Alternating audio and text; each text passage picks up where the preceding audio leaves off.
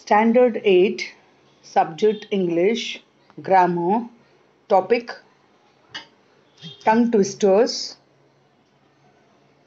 Homophones Heteronyms Homographs Idioms So today let's learn about these topics.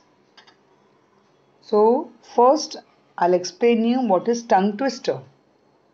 Tongue twister is a sequence of words or sounds typically of an alternative kind that are difficult to pronounce quickly and correctly. So there are some tongue twisters. Peter Piper picked a pack of pickled paper. And the other one, Betty Butter bought some butter, but the butter was bitter. Another example, a big black bear sat on a big black rug.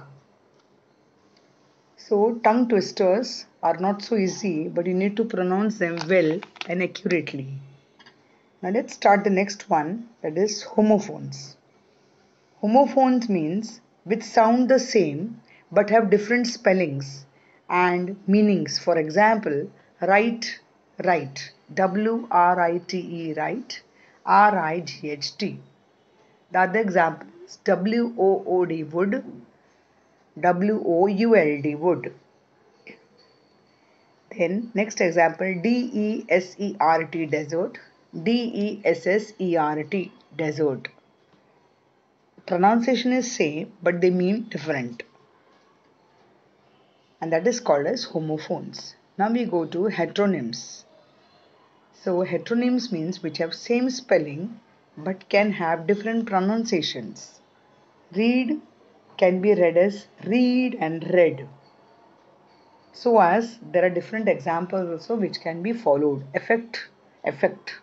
Advice, advice. So that means effect is A F F E C T, E F F E C T.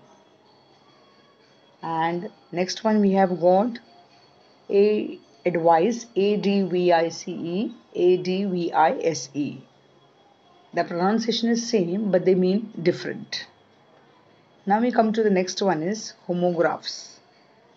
Homographs that spell the same, sound the same but have different meanings in different contexts. So it can be the word wing, W I N G wing. So it is bird's wings and building wings. Next one is bed, one is river bed, other is furniture bed.